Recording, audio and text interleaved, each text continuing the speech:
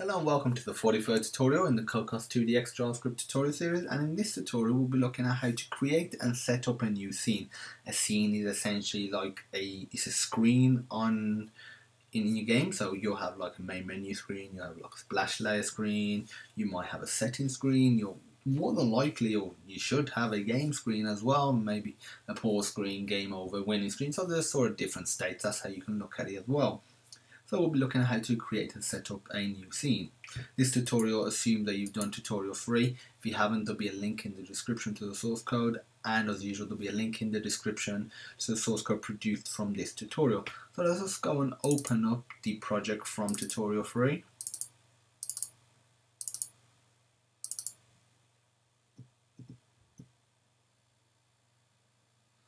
Once it's open, you want to go to myapp.js. Creating a new screen is relatively easy, easy, sorry, not easily, relatively easy. There's a few steps you got to do. You've got to duplicate this file. That's an easy way to do it because it already exists. Before you that, before you do that, sorry, there's a couple of tweaks we want to make to the current scene.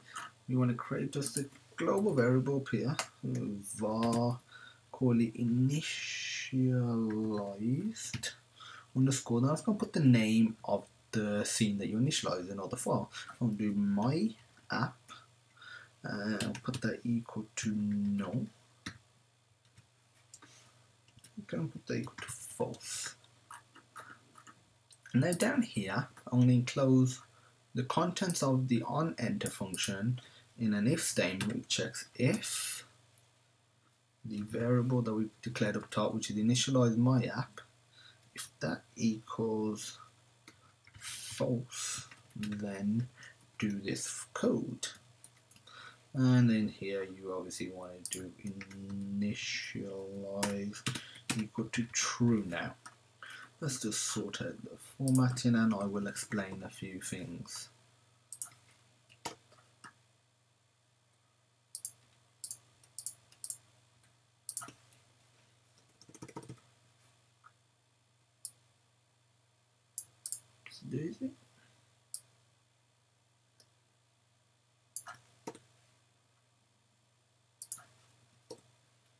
Okay, that is great.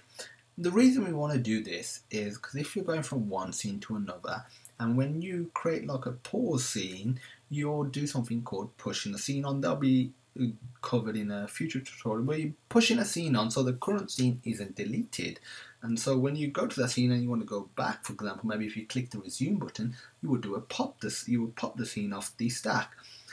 And the issue without this code will be if you come back into here with obviously would enter this scene again. And when he enters you'll reinitialize and add the, the layer as a child again. Problem with that is he will have the current layer as a child and then he will add it again on top. So you'll have two instances. Sometimes with text you can tell because like if you click on the text item you'll start hovering but the back one won't. Uh, so obviously you don't want this. So you want this as initialized equals false. Then you'll do initialized equals true. So when it comes into here it's already false. And you would the cases that you would put this to false is when you would go to another scene, but you're going to replace this scene or get rid of this scene. When you get back into here, it no longer technically this, so you want to reinitialize it.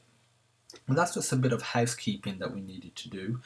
The next thing, we want to duplicate this myapp.js. You can't really do it here because these aren't added, like these aren't copied in, these are just folders. So you want to go to the directory, you want to go to resources, you want to go to source, then just duplicate myapp.js and rename it to new scene.js. As you see, it's automatically appeared. In here, you want to rename basically everything that was essential to the my app.js. So we'll get rid of that, put new theme. And likewise, we'll just make sure we've updated this anywhere that needs to be updated. And let's just go down slowly and rename stuff. So instead of my layer, we'll have new layer. Obviously, you'll probably want names that better represent that actual screen. So this might be a game layer or a pause layer. We'll leave all this as it is for now. The my scene, we obviously want to change that to new scene. Then down here,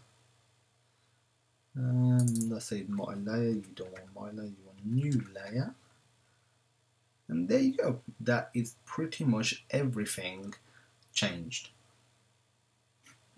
So that is it. That's how you set up a new scene. In the next tutorial, we'll be looking at how to actually push a scene on. I briefly mentioned it before, but we'll be looking at that and you'll actually see this all in action. That's for the next tutorial. Thanks for watching this one.